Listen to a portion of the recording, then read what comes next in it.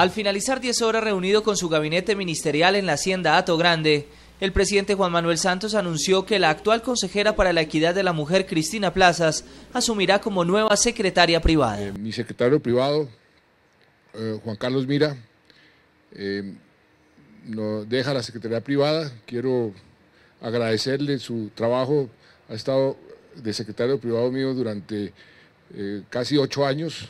Ha sido una persona leal, una persona muy trabajadora y no tengo sino palabras de agradecimiento, lo va a reemplazar eh, otra persona que ha sido también una gran trabajadora, que ha estado a mi lado eh, durante todo el gobierno, Cristina Plazas. Bajo el llamado de la Unidad Nacional a todo el país, el mandatario dijo que las regalías han generado 6 billones de pesos que ya se han distribuido en 1.600 proyectos en toda la nación. Cómo eso va a impactar positivamente la economía, pero qué tenemos que hacer para agilizar eh, que esos proyectos se ejecuten a la mayor brevedad posible. Económico, el jefe de Estado aseguró que habrá un diálogo directo con los empresarios del país y expresó la idea de implementar más propuestas que ayuden al progreso. Ya convocamos unas reuniones con empresarios y con el sector agropecuario para iniciar un ejercicio de diálogo casi que permanente para ver qué tipo de medidas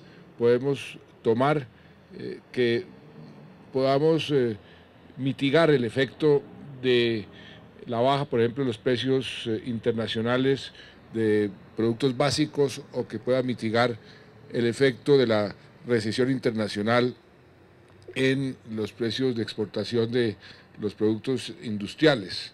Em, son medidas que vamos a, concertar con eh, los directamente eh, interesados para ver cómo podemos em, ir poniendo en marcha eh, unas políticas, por así decirlo, anticíclicas que nos permitan ayudar sectores que están siendo golpeados por la coyuntura internacional y por la falta de demanda. En el tema de seguridad anunció que por primera vez en la historia los miembros de la guerrilla están por debajo de los 8.000 y le expresó a la comunidad nacional no dejarse manipular frente a las expresiones de paros.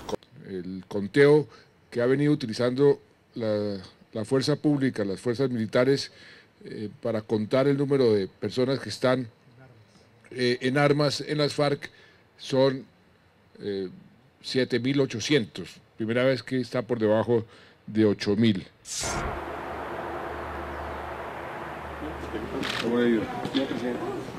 En Ato Grande, hacienda ubicada en el norte de la sabana de Bogotá, se realiza un consejo de ministros liderado por el presidente de la República, Juan Manuel Santos. Durante la jornada, cada uno de los ministros entregará su balance de gestión y se hará una revisión de los programas que ejecuta el Gobierno Nacional.